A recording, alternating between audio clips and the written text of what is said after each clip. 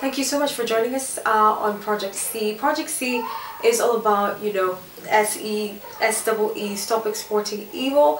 So it's addressing the West and um, their agendas of just spewing or puking evil um, on Africa.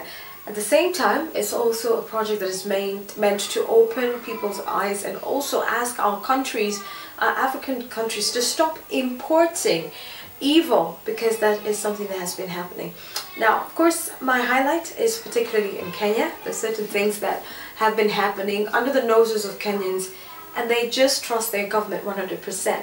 You know, when we got a new constitution, everyone was excited, you know, wow, we've got something that at least we are we are proud of. Um, I, little did I know that that would just be one of the things that would be creating a lot of, of anarchy, a lot of crazy things happening because the culture of impunity in Africa, believe it or not, is really crazy. To be particular in Kenya, it's, it's just off radar.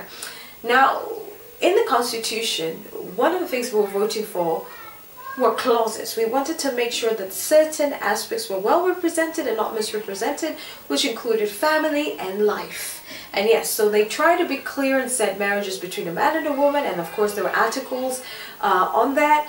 And then we went to life where they came up with two articles intentionally. Uh, one to confuse the Kenyans that yes, we are actually protecting life. The other one to give permission to people like Marie Stopes to kind of work their business and use that article to run away from court cases. So we've got Article 8 and Article 24, both of which are not as strong. We are saying, the Constitution says life begins at conception, but then it quickly hands over the right of that life to doctors, you know? So if two or three physicians think, or gynecologists, or in fact, it's not even gyners, they're talking about uh, medical practitioners feel like the life of uh, the woman is actually endangered, then they can actually legally procure an abortion. Let's just fast track it a little bit, or slow track it if you may. The culture of impunity in Kenya is so loud, so much so that even cases where we've had people caught in the act just go like that. It's like water under the bridge. And we, the Kenyans who are supposed to be the employees of the government, have nothing to say about that. This culture has trickled down to every aspect, including the medical field. Just the other day, in fact was yesterday, we had a story of a quack doctor who was caught on the act. Uh, I mean, he said himself that he makes money out of abortion. That was under an investigation. It was on NTV by, I think, Dennis Onsarigo. Dennis Onsarigo investigative report. You can check it out on YouTube. And you know what? What surprised me was that the highlight, the the the, the highlight right there was not this man procures abortions. It was rather uh, okay, it was rather, um, it was rather, um, this is a quack doctor, just that. And every tweet that came after that was a tweet addressing not the abortions, but oh, poor women, you know, under the hands of this quack doctor who insults them. Oh, poor women, you know, all that. And nothing in it addressed the illegality of the abortion, which tells you what? Tells you the a place where even media has been brought out not to address the issue for what it is. They don't want us to talk about what abortion really is about. And so they cover it up very well and try to make it a woman's issue all over again. The guy has been arrested, but I bet you he might not be charged for abortions. He may be charged for being a quack, operating illegal clinics without papers and what have you. And he got, he's got great big people surrounding him. This is not the first time that he is actually getting arrested. He got arrested and he was released on bail. This is the third time. Two million Kenyan baht. And he had the money. And he said he makes money out of that. He also takes drugs. It's obvious. Who's going to perform an abortion and know he's killing a human being and be sane? No. He's that guy who has to be high all the time. And all the eyes of the people that I saw, the tweets that I saw were not about the abortion, but they were more or less addressing the, the, the, the aspect of poor women. Why are the women going for abortions in the first place? Why isn't the government coming up with pregnancy crisis centers? Why isn't somebody speaking up and saying, hey, do we know what we're doing when we go down that road of abortion?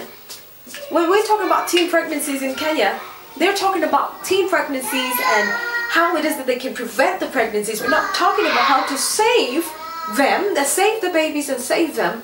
And you know, at the end of the day, just kill this culture, first of all, of immorality and fornication, and then also deal with the issue of abortion. They're not, they're not interested in that, not in the least bit. So now, with that constitution, Marie Stopes has for a couple of times used the clause and they quote article I think article 8 where they say that you know if in view of a general practitioner or practitioner medical practitioner uh, they feel that somebody's health is at risk then they're able to carry out the procedure. I went to Marie Stopes Facebook with a studio account and I was totally surprised. I was able to pull out five women Four kept their babies. Sadly, as I was working with one of them, she actually procured an abortion at six months. She's not regretting it. But one of the things they tell them is, do you really think it's illegal in Kenya? When they ask questions about the legality, the social media account um, personnel, the one who's handling it, quickly responds and says, do you think it's not illegal in Kenya? And who's not who's making it not illegal? As far as I'm concerned, Kenyans knew the constitution they voted in, the constitution they said yes to, was one that's supposed to protect human life. So are we living in ignorance? And who's fooling who? And if that's the case, now that we're calling for another referendum, are we going to have people who will stand and say, until this article is adjusted, we need to tighten the loose ends? We are not going to vote for this referendum as it is, this, this, this uh, constitution as it is. So I've not heard anyone push and say we need to tighten these loose ends. Now most of the people that were compiling and you know coming together for to make this uh, constitution jo was jo Njoki Ndung'u. Everybody knows she's a high court judge and a lot of you also know she's a pro choice. She's a pro-abort. She was actually quoted as saying at some point that every no HIV positive women should not be pregnant. If they do, abortions should be allowed. She has been so adamant standing for the pro-choice agenda. I'm surprised that she's a mother. I, I really am. I am.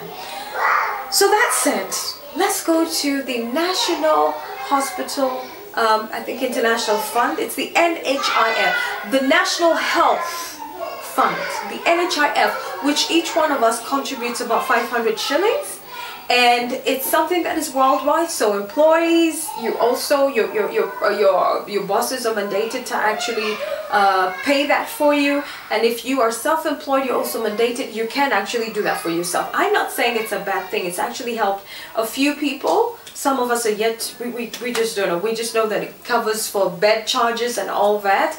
Um, but they had a clause and i was able to interview someone at some point from the NHIF, an NHIF representative who was able to tell me what they cover. Because I asked, what does this clause, reproductive health services, mean? That's where you realize that we've been cheated for a long time.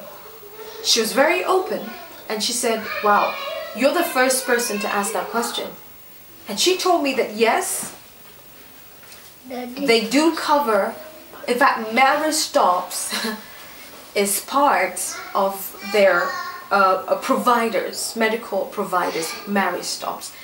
And I told her I was perturbed by that because we have a constitution that is supposed to protect human rights and the, the human being from conception.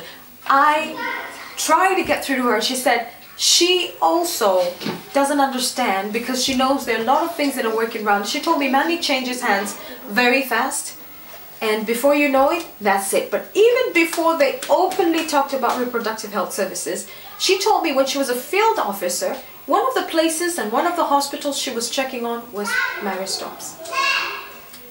What does that tell us? Who's playing with who?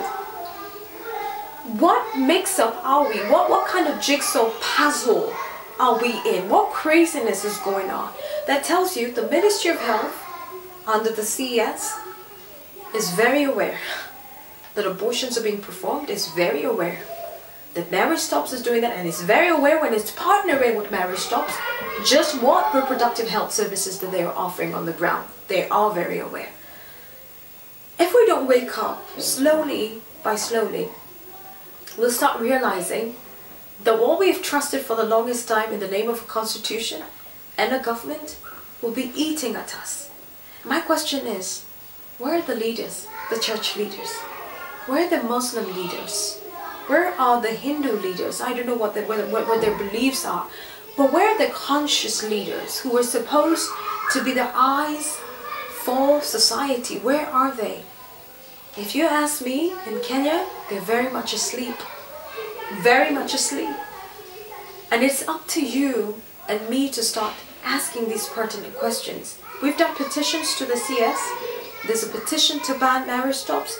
Marie Stopes has been also asked to pull out, pull down the advertisements that are illegal on air, but they're still defiant. Why? There's somebody big somewhere who's protecting them. You and I know the cover that NHIF has. And so Marie Stopes is planning to make money out of your money. Because it's not often that I will use the NHIF. I might not even use it for five years. But that cumulative amount is going somewhere to fund even those abortions, to destroy lives. We should ask ourselves these questions and start asking them the questions and tell them what we want and not what they will force down our throats. The other comment that this lady made was, hey, the question that we should be asking is, why are they in business? And I asked her, do you think if women knew the truth about life in their wombs, if they had a chance to see the ultrasounds, do you think many women would actually assent to the abortions? Marie Stopes is selling abortion like lollipops. They're selling abortion like cake. And people are slowly biting into that bait. And in Kenya, the reason why they are adamant, if you ask me, is because nobody has come out full throttle. And I take this opportunity once again to speak to abolitionists, all pro-lifers who believe that they're pro-lifers and their agenda is actually to fight for life, to wake up and start fighting for the unborn, to come out of looking at the money factor to come out of looking at their pockets and their bank accounts and asking themselves how much will they gain and start looking at the issues on the ground. Because as long as pro-lifers are walking and looking at their pockets, there's no difference between them and pro-choices. They're just one and equal. And they're just using this as a platform to feed each other. If you're a pro-lifer who wants this thing to be abolished, I am begging from the depth of my heart that you will look into these issues and choose to fight for them for what they are. Choose to push for policies that will change. If you're mandated with a docket that can change things, please begin changing things. Begin utilizing that docket. If you're mandated you know, and you're under an organization that is funding you, use it. Use it to address these issues. Use it to silence the pro-aborts. Let them have a feel of the presence of the abolitionists here in Kenya. Because I've, I've, I've, realized when we're saying pro-life, there are people pro-life, but they have exceptions. If you have exceptions, you're not a pro-lifer.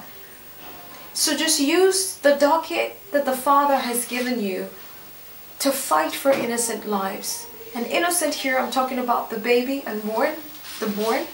I'm also talking about the women who are often made fool, are actually fooled into thinking that that's the easy way out. Are we able to come together and think of setting up pregnancy crisis centers?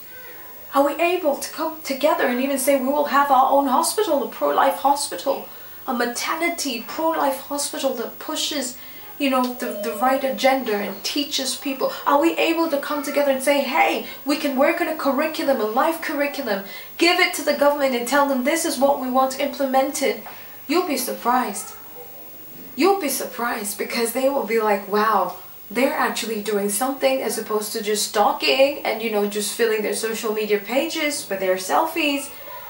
They will begin to see that we have solutions. If we have pregnancy crisis center, for example, or a pregnancy uh, crisis, crisis center, call center, a home for those who don't have a place, now we are talking. Now we are coming up with solutions. If we're able, and you are mandated, I know Ann Kioko, you're mandated under CitizenGO, you know, good job, you know, but use it, Anne. Use it. We can have billboards out here speaking about life. Billboards in the right place, and it's funded by your uh, by uh, CitizenGO, who are heavy funders of pro-life ministry. Use it. Whoever you are, use your space. Come together. Let's come together. Let's stop having this bias. It's not about me. It's not just about you. It's about that innocent life and countless number of lives the knowers, the Wavinyas, the new babies that are coming forth to change this planet. It's about them. You know, one thing that I tell myself is, this thing has spiraled be, be, be beyond, you know, be, beyond much of what people can do, but there's so much more we can do. But my question is, what if one day my children say, ask me a question, say, Mama, what did you do about it before it got to this place? What did you do about it before these pro-aborts came and made this legal and stamped it right here in Kenya? What did you do about it? This is what I'm doing about it. I'm reaching out to you and I'm calling you to stand for life proactively not reactively, proactively. This is me speaking and saying abortion is the worst terrorism that has ever existed. Let us choose life. I'll again end with a quote, Mother Teresa. She said, if there is no peace in the world, there can be no peace in the world. So stop questioning about the NHIF. I'm hoping to see petitions if I don't start it myself and or somebody else can actually start it out. Thank you so much.